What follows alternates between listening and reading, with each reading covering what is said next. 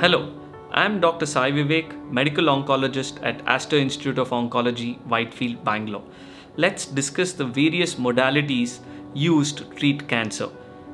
These constitute surgical management, medical management, and the usage of radiation therapy.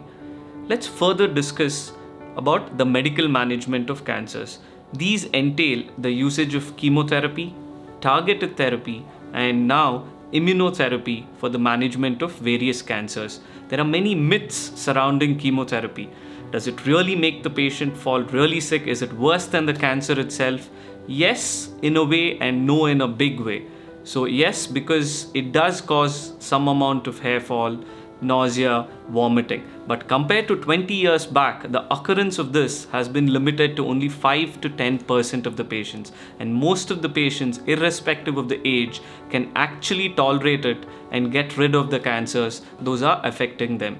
Next, coming to targeted therapy. So, we search for certain targets present on the cancer cells and we use medicines which specifically hit those targets, hence having more efficacy and minimal toxicity.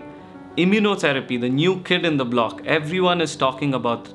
Basically, cancer cells secrete certain decoy proteins to prevent our natural immunity from fighting the cancer.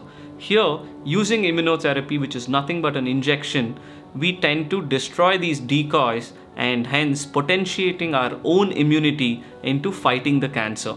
So, in certain people where this is efficacious, it leads to long term and durable remissions from cancer.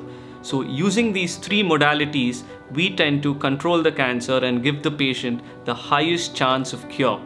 For more queries regarding this, you can consult us in the Department of Medical Oncology at Aster Institute of Oncology, Whitefield, Bangalore.